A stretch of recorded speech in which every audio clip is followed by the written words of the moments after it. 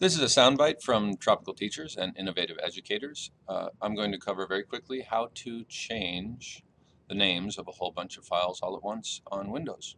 This is a Windows NT system and if you're like me you take a lot of pictures or you end up with a lot of files and you want them all to be named similarly but not the name that they have. So for example you download 200 pictures from your camera and they say DSC 001, DSC 003, you delete a bunch, they skip some numbers, the numbers don't make sense, and what you really want to say is trip to the beach 2010 or something like that.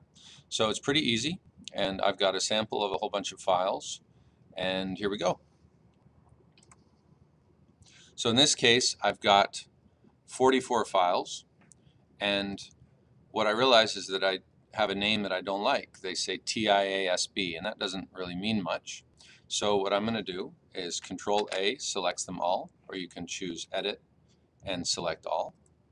Um, and then I can right click on one to rename, but in this case I'll just hit F2 and it'll automatically pick the first one. Notice the, the rest are still highlighted though you can barely see it. And then I give them a name that I like. So in this case the initials for this file is teaching in action.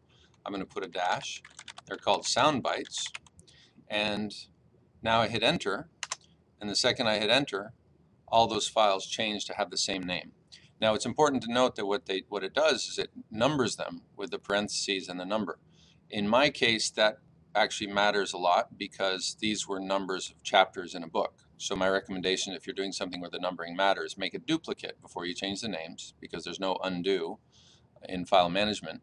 And in this case, I wanted the first one, which was chapter 1, to be chapter 1, and notice the first one doesn't have a number. So I added a junk file so that the first one would be blank and then my actual first chapter would be one. If you're doing pictures for uh, an album, that almost doesn't matter, but it would be nice if it, it went ahead and did 1, 2, 3 instead of 0, 1, 2, 3 or blank 1, 2, 3.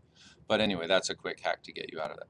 This has been very useful for me, especially when it deals with photography. In this case, I'm dealing with a bunch of files from a publisher and uh, it's just nice to have a name that I like rather than the kind of obscure name they use. Um, if, to give you an example, the kind of names they give you is look at the name of this folder, 12029 da da da da da, and that just doesn't really help me.